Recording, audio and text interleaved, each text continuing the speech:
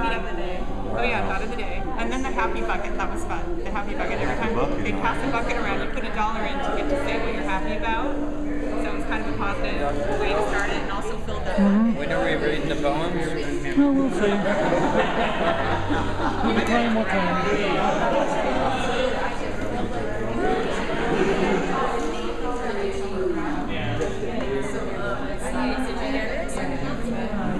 I can roll short hair too. It's, it's like brown, really short. I remember the girl. I remember the girl thinking that John Lennon was her dad. Oh my gosh. or not John Legend, but um, I think so.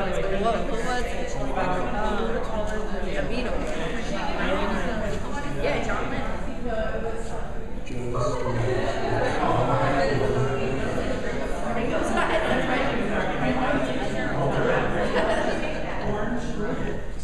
Oh.